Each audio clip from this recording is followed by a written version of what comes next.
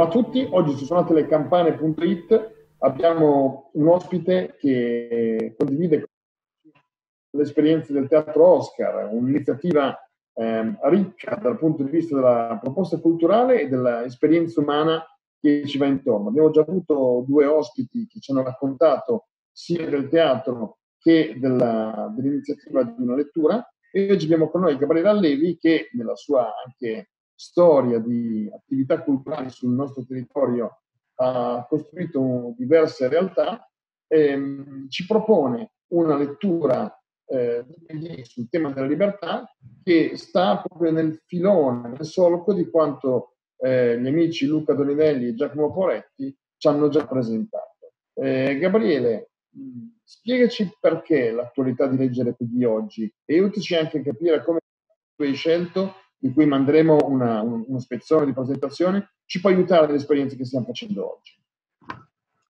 Beh, la, eh, l'iniziativa parte proprio dalla considerazione del, della situazione in cui stiamo vivendo. Eh, sostanzialmente siamo reclusi in casa e, come dicono nella breve introduzione, sentiamo una grande eh, anelito di libertà.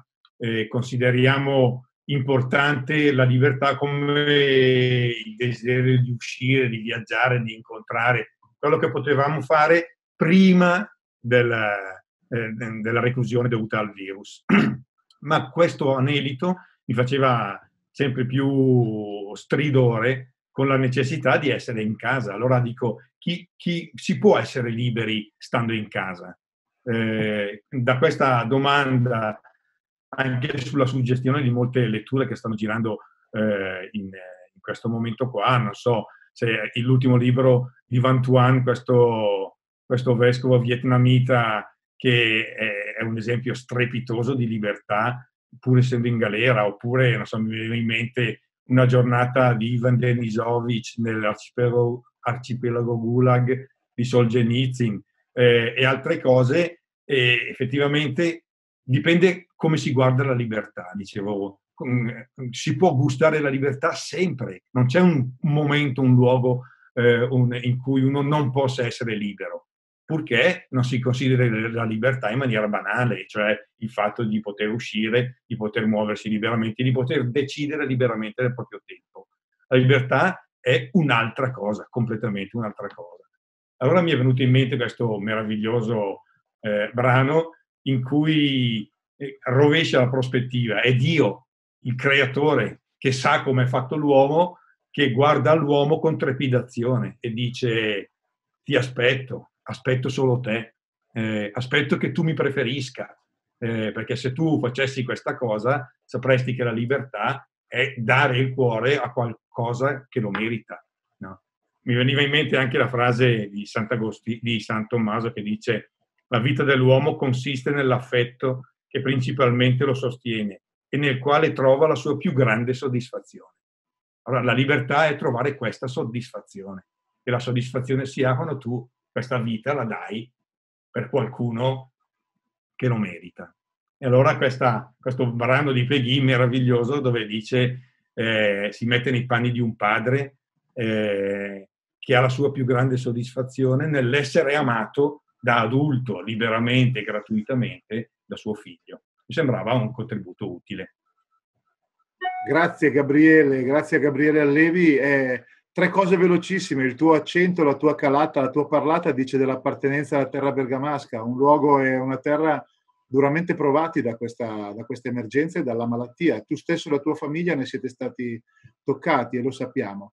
Eh, l'esperienza del teatro Oscar, ci diceva Giacomo Poretti qualche giorno fa, è nata nel momento peggiore, anche, c'è anche su, sua, su, una sua intervista ad avvenire in cui poteva nascere, ma eh, è accomunata dal fatto, e forse l'onda sarà più lunga di quella che ci si aspettava magari anche inizialmente, l'onda che porterà a non poter rientrare magari in assembramenti, in teatri, in, in, in luoghi insomma, dove ci sono assembramenti e, e quindi eh, tenere desta comunque la, la vitalità la, la vivacità della cultura, del, del, poter leggere delle pagine è sicuramente un'iniziativa che ci fa piacere, che stiamo cercando di fare da, da, più di un mese ormai anche con Suonate le Campane.